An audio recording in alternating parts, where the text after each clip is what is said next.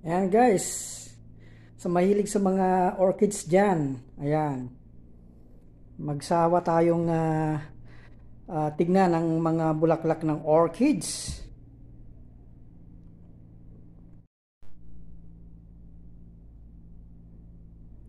Yan, ang ganda ng uh, bulaklak nyo. Talagang mga ano to guys, mga orchids na ano uh, hindi lang siya basta-basta. Galing ano kasi ito mga to eh, mga ibang bansa na orchids. Ayan. Kaya ganyan yung mga bulaklak nyo, gaganda.